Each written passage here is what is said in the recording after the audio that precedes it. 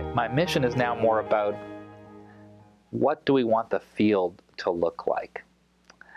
Uh, research ethics was a real, you know, Wild West field in the early days.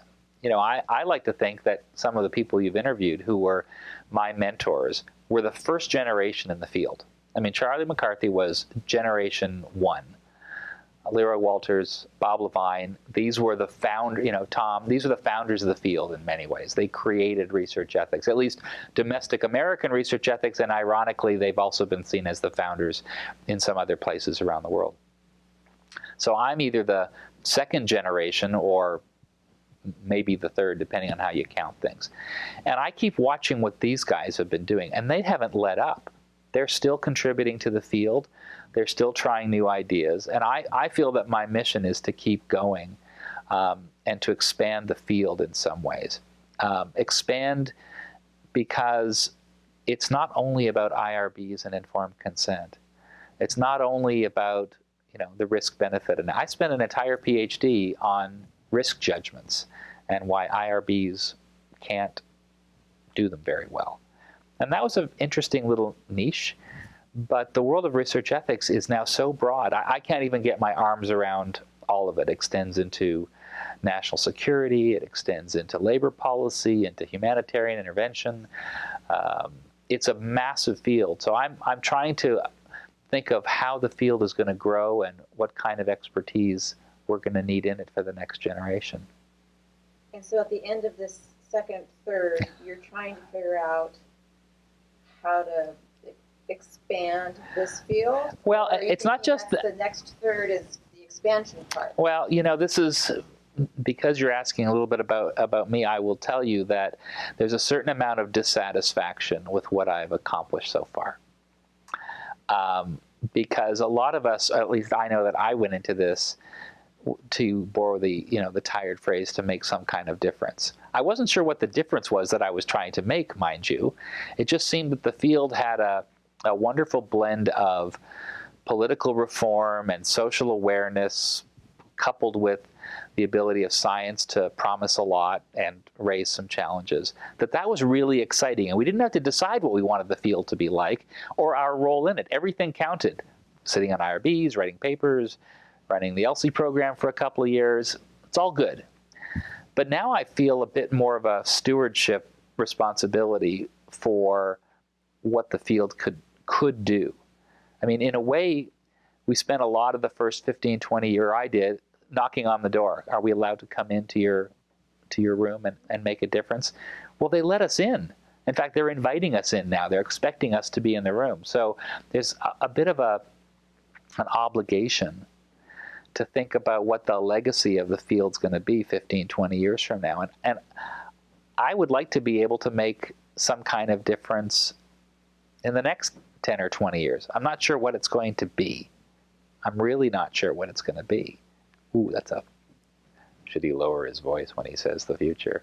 But honestly, I, I to, to do the same thing, a lot of, I will just speak very, very, you know, personally. Uh, I either have a short attention span or I just love having a lot of balls in the air.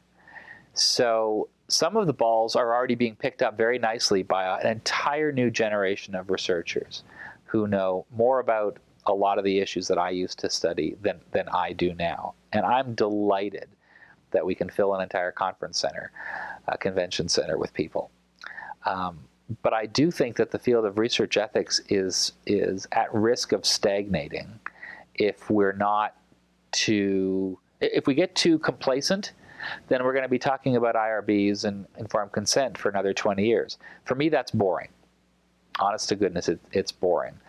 I'm much more interested in pushing some of the, the boundaries into areas that are not, strictly speaking, um, contained within the old-fashioned definition of research ethics, you know, research involving human subjects. So uh, it, it's I'm sort of admitting or confessing to a kind of uh, uncertainty about the about my future, but also about the future of, of the field, if it even is a, a field. It's so large now; it's larger than larger than a field. Do you have a? a are you worried about anything the, for the future of the field? I, am not. I think the I think the quote the field, um, as defined by lots of graduate programs, medical humanities programs, research ethics programs, PRIM&R's work, um, you know, bioethics commissions. The field's in pretty good hands in terms of the capacity that we're building. There's a lot of capacity being built, master's programs and students getting trained. Um, but it, for the most part, the field was a responsive field. You know, we were responding to issues and trying to help. You know, Belmont Report responding to a set of issues in some ways, the federal regs responding to a set of issues. The challenge, I think, for field is deciding where is it going to go, and do we want to simply wait for the next thing to happen? Do we want to get out in front of it before it does, or do we just kind of want to, you know, double down and, and, and place our bets on, on red and black and say, well, we'll be prepared for new things, but meanwhile, we'll also run bioethics centers. I really, I really don't know. And I, I have to say that some of my, my skepticism is not so much about things internal to the field as much as it is about the way that society is organizing itself. Um, you know, I'm, I'm shocked and depressed that we're still having debates about the teaching of evolution in this country. I mean, it's, it's depressing to be perfectly to be perfectly honest. Um, sad, sobering that here we are. It's 2013, almost 2014, and we're having that conversation. Or climate change. We're having that conversation. Really. So my my um, worry is not so much about me or the field as much as what society is going to be doing and whether it's going to care about